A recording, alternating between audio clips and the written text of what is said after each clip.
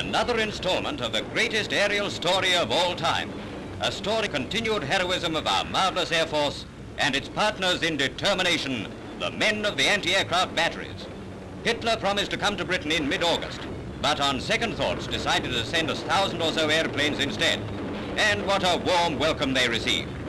British losses, excluding a few balloons, by comparison, still maintain the 5 to 1 ratio in our favor.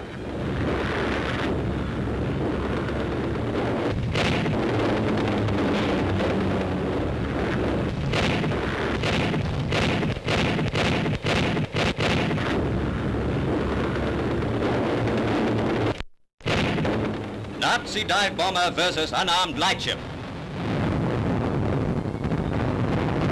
How the Hun must be gloating. Lightship, balloon barrage, if only with there a hospital ship about. But the despicable coward is given no further time for reverie. Retribution comes from out of the blue, and down he goes to join the hundreds who have paid the price of their... And the Battle of Britain is being fought out in British skies with increasing intensity. The fiercest aerial battles in history have resulted in Hitler's vaunted Air Force receiving the soundest thrashing it has ever had.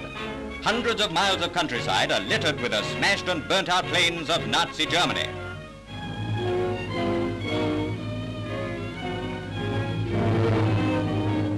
Never before has the screen shown such wholesale destruction of an aerial armada, bearing witness to the righteous indignation and fury of our airmen and gunners at the pollution of our skies and the dastardly attacks on British homes.